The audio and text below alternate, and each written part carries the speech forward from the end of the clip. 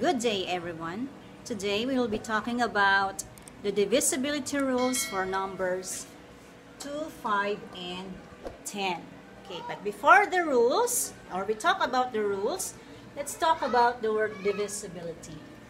When we say divisibility, it is a number's quality of being evenly divided by another number. Meaning to say that if you divide a certain number by a certain number, it will give you a whole number as a quotient. So, there is no remainder. Okay? Now, let's talk about the rule for number 2. So, a number is divisible by 2 if it ends with 0, 2, 4, 6, or 8, or what we call even numbers. So no matter how large a number is, if it ends with uh, 0, 2, 4, 6, 8, or what we call even numbers, no, you can divide it or um, by 2. Meaning to say it is divisible by 2. So for example, we have 366. It ends with number 6. 148 ends with number 8. 700 ends with 0. 192 ends with 2. 984 ends with 4. So all of these numbers ends with even numbers. So therefore, they are divisible by 2. Okay? How about the 2 here below? Two numbers here. We have 125 and 200. 43. Do you think we can divide it by 2 without giving us a quotient with remainder?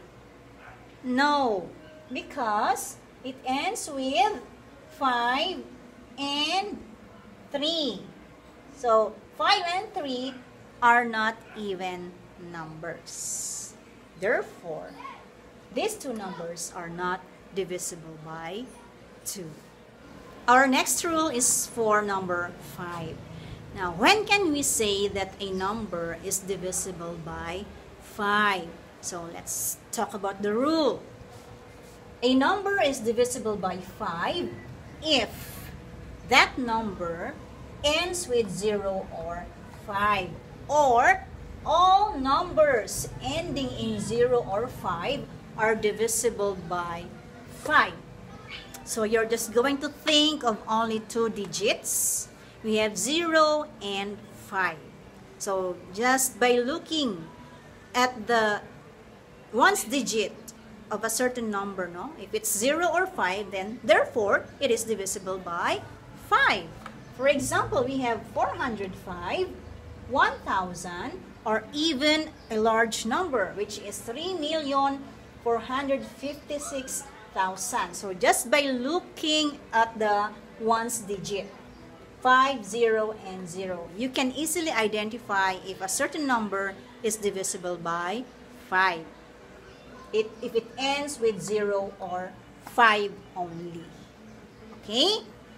How about this one? 366. So look at the ones digit. It is 6. Now, is it divisible by 5? No, because it is not 0 or 5. So, therefore, this is not divisible by 5. Okay? And the last rule is for number 10. A number is divisible by 10 if it ends with 0 only.